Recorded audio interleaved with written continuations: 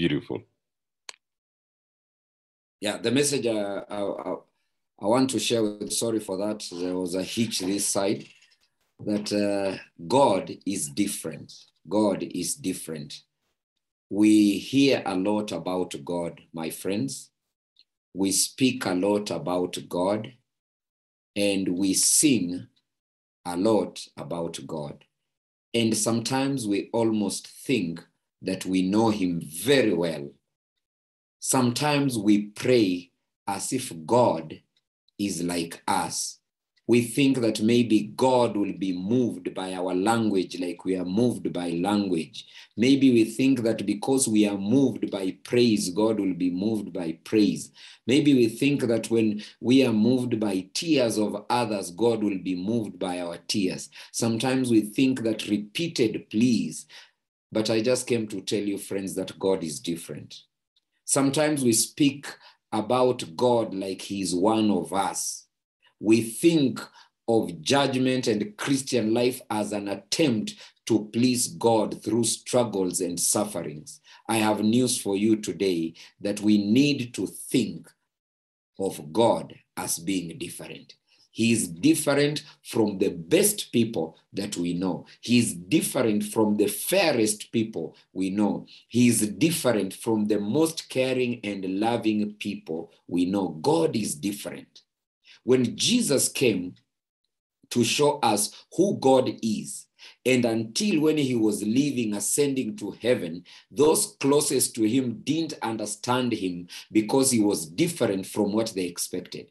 That's why when you read John chapter 14, verse 8 to 9, Philip says, Lord, show us the Father. And Jesus says, Don't you know me? Because Jesus had been trying to show who God is, but the human expectation of who God is and who actually God is uh, were not matching with Philip. And Philip needed to know that God is different from what he expected.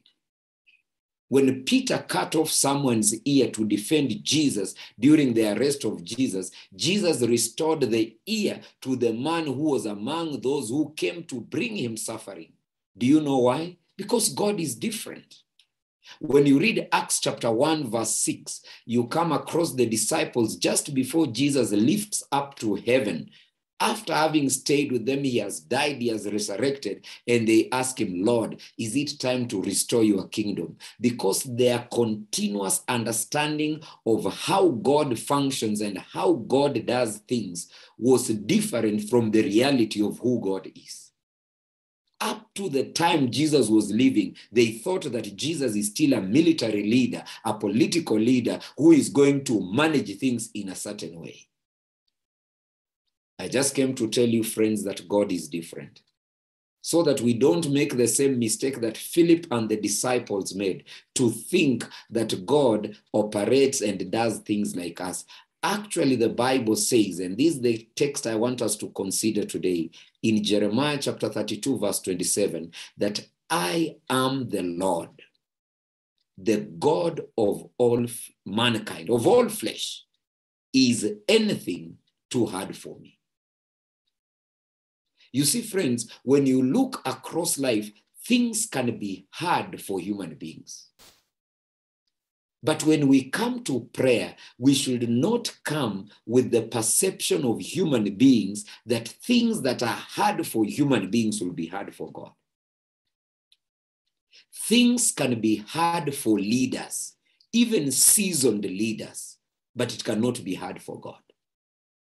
Things can be hard for politicians who have always been diplomatic and cracked the most difficult issues, but it cannot be difficult for God. That's why God says, I am the Lord, the God of all mankind, the God of all flesh. Is anything too hard for me? We need to approach prayer knowing that the God we are praying to is different from father, is different from mother, is different from anyone who we think will be helpful to us. Things can be hard for medical experts. You can visit doctors, they give you injections and tablets, and you feel no better. And you start panicking that maybe you are suffering from something more serious that has not been identified. And in your panic, you may think that God is also having the same challenge that your, your doctors and medical experts are having. I just came to tell you that God is different. God is different.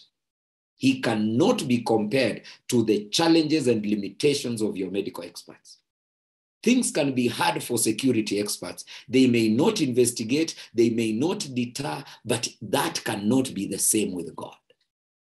It can be hard for experienced old people. It can be hard for economists. It can be hard for engineers. It can be hard for rich people and poor people alike. It can be hard for professors in academia and even for the uneducated. But I just came to tell you today that for God it is different. Why? For nothing is impossible with God. That understanding should draw us to prayer more than anything else. Just knowing that I may have visited offices yesterday and I didn't get what I wanted. I was not treated the way I should be treated. And I see darkness ahead of me. But when you come to prayer, you must wake up to the reality that God is different. No one can stop God. No one can defy God. And God will have his way when he purpose, he purposes to have his way. God is different. And so when we approach the prayer moment like now, we must be conscious that we are approaching a different God. There must be more confidence now than has ever been because God is different. We are not coming to try our luck when we come to pray. We are coming to approach the monarch of the universe who is able at his word to create the entire universe. And his will is the best for us. God is different. That understanding changes my life when I come to prayer. When I come to prayer, I'm not coming to address an expert who may be facing this issue for the first time and needs to figure out. I'm approaching God for whom nothing is impossible. You see, the Bible says in Psalm 27, verse 10, that though my father and mother forsake me, the Lord will receive me. Do you know why? Because God is different. I mean, even human beings can reject their own children, but God is different. Actually, you need to familiarize yourself with Isaiah 49, verse 15, where it says, Can a mother forget the baby at her breast and have no compassion for on the child she has born? And it says, Though she may forget, I will not forget you, says God. Why? Because God is different a mother can abandon a child, and we have seen it happening. There are mothers who give birth to children, and for some reason they didn't want the child or they don't like the father. They put the child beside the road and walk away, never to turn back. But God says, even though a mother and a child who should be having such a strong bond can part, I, God, am different. I just came to tell you, friends, that God is different. And that's why he says again in Malachi chapter 3, verse 6, that I, the Lord, do not change. So you, descendants of Jacob, are not destroyed. I want to thank God today that he is different.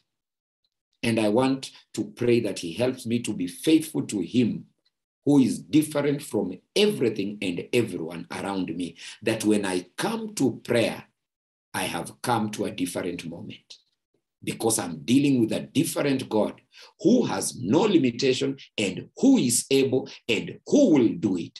God is different.